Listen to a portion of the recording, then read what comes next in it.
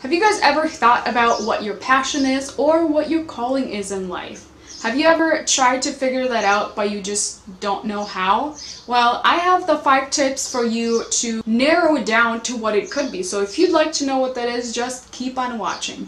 Hello, my beautiful people, and welcome back to my channel. If you are new, don't forget to like and subscribe, but I post every single Sunday and I love to do any type of inspirational videos or makeup videos, beauty related, whichever they might be. Today I wanted to talk to you guys about your passion and how to know what that is or just how to figure it out in your life what that in the world could be because I think it is so important and a lot of times we try to figure out what our passions are in life or what our calling is and a lot of times we just don't know, but I feel like it is pretty obvious to a lot of people. We just don't really care to go for it. We sometimes think that the things that we like are just our hobbies, but a lot of times that could be your calling in life. So if you'd like to know what that is, stay tuned and listen till the end. I will give you five practical steps to trying to figure out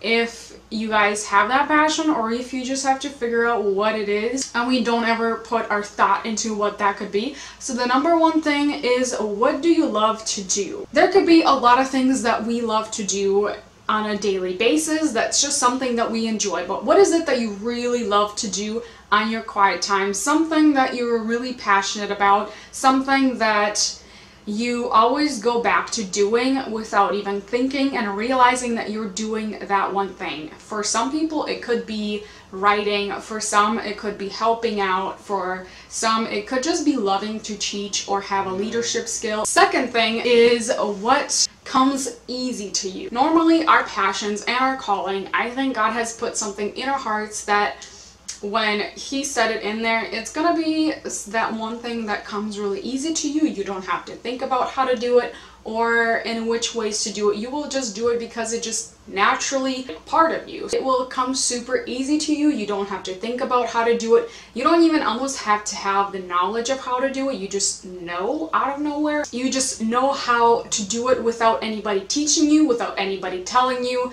It's just part of who you are as a person and it is part of your calling. Third thing, no one ever makes you do it. Our passions and our desires, a lot of times, no one will come and knock on the door and be like, hey, you have to do this. It is something that you love to do already. It is something that you set your time apart because it is important to you and you will do it without anyone telling you you have to do it. To me, one of the things that I love to do and one of my passions I feel like it's kind of hard for me to figure out what that really is because there are so many things that I enjoy, so many things that I love to do. Like, for example, I love writing and I've written a few books. I can put down below what they are and where to find them, but writing is always and has always been one of my passions that I love to do. And all of those things that I just said about no one makes you do it. It's something that I enjoy. No one can ever stop me from doing it. I just know how it works. Is writing. It is one of my passions. It is something that I love to do. And I've written a few books and I love it. I think it's just something that kind of roots me even deeper into who I am as a person and who I am in the God.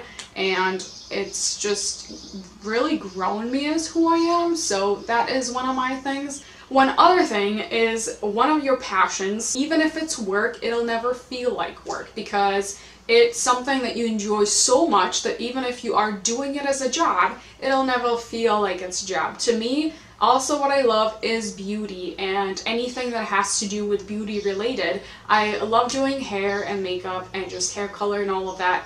And when I go to work, it is sort of like work because obviously I get paid for it, but it doesn't feel like work because I enjoy doing what I love and I just enjoy using my creativity and being who I am and just being in that sphere and developing my skills and in developing what I love to do. So to me, I love being in the beauty industry. It gets, obviously gets me paid, but at the same time, I don't always feel like it's work. I go and I enjoy it and I love what I do. I know for sure that a lot of you that have a passion, that have a calling, it will be enjoyable to you and even if you do it as a job, it won't feel like a job because you enjoy it that much. And that's what's important and that is how to know how to figure that out. And the final thing about knowing what your calling is, is if you don't get paid for it, you would still do it. A lot of times our passions and that is tied to our calling and what we were meant to do in this life is given to us so that it is part of us.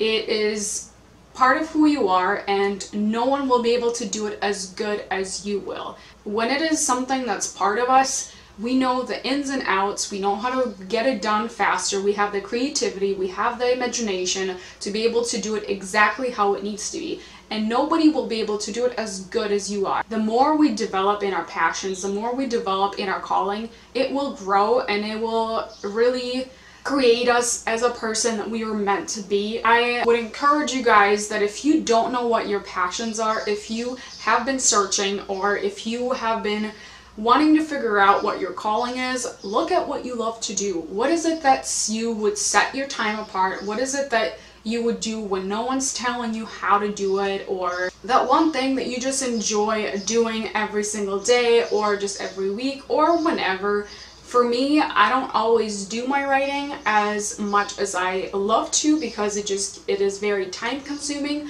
but at the same time, I enjoy it so much and I would do it even if I don't get paid for it. Now, I don't necessarily make that much money from making and writing books, but I would still do it because it develops me as a person and as who I am and I just get to know even more information on whatever I'm writing about. So I really hope that five of these tips has helped you and kind of opened up a little bit something of how you can figure out if there is a passion that you have. And I know that every single person has a passion and every single person has a calling on their life and you will get to figure that out if you just search and really figure out what is it that you love to do and what you're passionate about because I know that everyone has that. There isn't one single person on this earth that doesn't have a passion. We all have something that we enjoy to do and it doesn't have to be something big. Sometimes it just could be helping out people or just speaking uh, words of encouragement into their life. Like it doesn't have to be anything huge.